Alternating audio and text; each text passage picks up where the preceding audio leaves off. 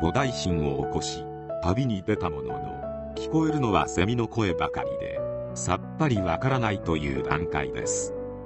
仏道無常誓願上必ず達成するぞという強い誓い強い願いから始まります。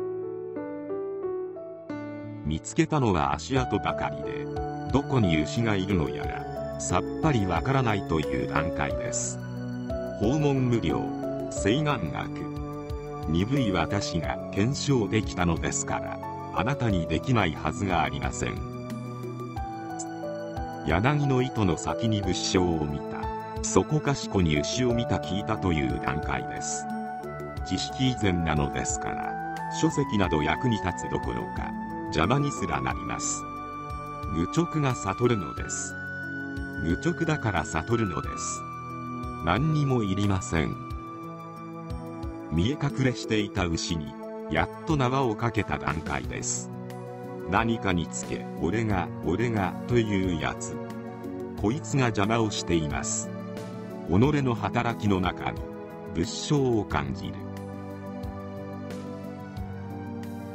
牛を飼いならすために日々研鑽している段階です。なかなかこれまでの癖が取れません。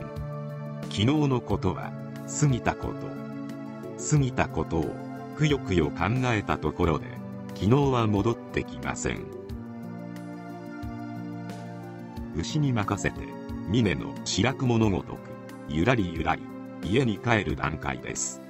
生もなければ死もない。煩悩もなければ菩提もない。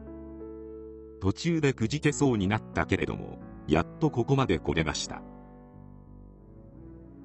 悟りのことを忘れたもののそれを知っている己がいるという段階です。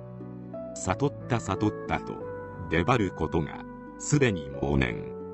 ただただ丁寧に日常を働いていきます。悟った人もなければ悟られた法ということもないただの人の境外です。掃除終え袋片手に仰ぐ月65年かけることなし。まだまだダメだ。見ている己と見られている月とがある。本来一つ。元に戻ってみれば花は紅柳は緑。眼は横に。花は縦に。自然あるがままの境外です。無念無心。祖師が見たものを今私が見ています。諸仏が聞いた音を今私が聞いています。ここまで来ればもはや自在。生き生きとした毎日です。質素ないでたちで選ぶることもなくニコニコしながら主張を再度していく布袋和尚。格安和尚の理想です。最後は民衆を救済していかなければならない。それが仏法。修行の最終目的なのだから。いえいえそうではありません。仏法にはこうしなければならないとか。目的とか窮屈なものは何もありません。街に出た民衆の苦しむ声が聞こえる。苦しむ様が見える。どうにかして救いたい。